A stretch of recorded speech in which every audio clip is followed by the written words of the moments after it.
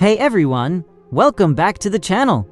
Today, we have some thrilling updates about the upcoming Samsung Galaxy S25 Ultra. With its launch just around the corner, we're getting our first real look at its design and features. Let's break it down.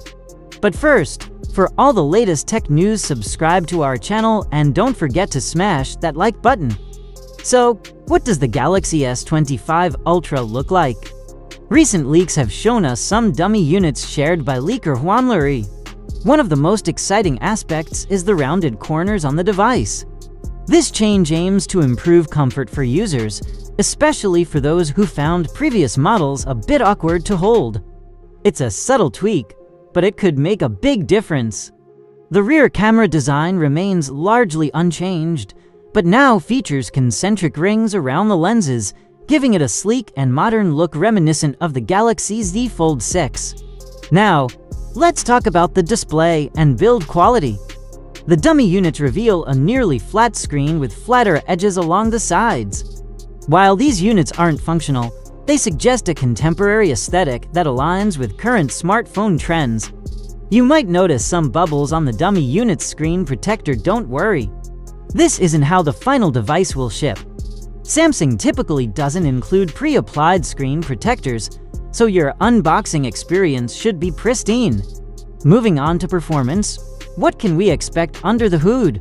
The Galaxy S25 Ultra is rumored to be powered by Qualcomm's upcoming Snapdragon 8 Gen 4 chip, promising significant performance enhancements over its predecessor.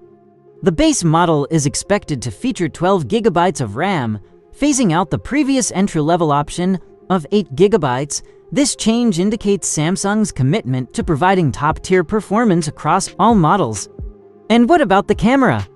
The Galaxy S25 Ultra will likely retain its impressive 200-megapixel primary sensor, but there are rumors of an upgraded ultra-wide camera that could increase from a 12-megapixel sensor to a 50-megapixel sensor. This would greatly enhance photo quality, especially for wide-angle shots. So when can we expect to see this beauty hit the market?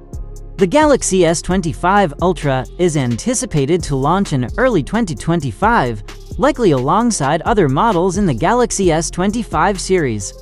As we get closer to that date, more details will surely emerge. In summary, the Samsung Galaxy S25 Ultra is shaping up to be an impressive flagship with its refined design and powerful specs. Are you excited about those ergonomic improvements or perhaps the upgraded camera capabilities? Let us know in the comments below.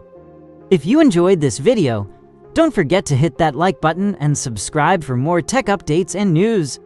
Thanks for watching, and I'll catch you in the next video. Peace out.